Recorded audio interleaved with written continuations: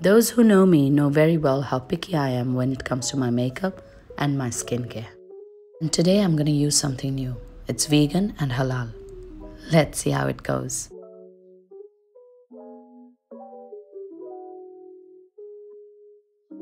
First, I'm going to start using the Aqua Sunscreen Hydrating Clear Gel.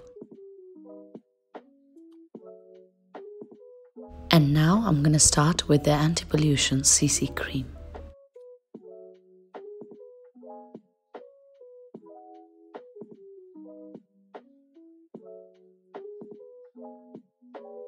The CC cream was pretty good, but I'll be very honest, I needed more coverage, so I started using their Rose Serum Foundation. And while putting it on my skin, I could feel it that it was very nourishing and hydrating. You know what? I was actually pretty impressed with the quality of the product. It uh, made me feel good and uh, nourished, and after that, I didn't have to do much. Just put on some mascara, some brown eyeshadows, brushed my eyebrows, and put on my favorite blush on, which is pink. Now it was time to pick my lipsticks. So there were two, but I finally picked 4 to 5 Valley of Roses. Let's see how it goes. Again, when it comes to lipstick, I think I'm extremely picky with the colors and the texture.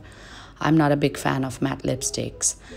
Even though it says velvet matte, uh, I can still feel it's pretty moisturized and uh, I actually quite like it.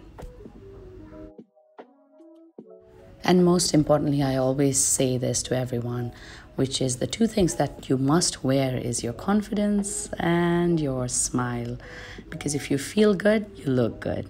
So always think positive and keep smiling.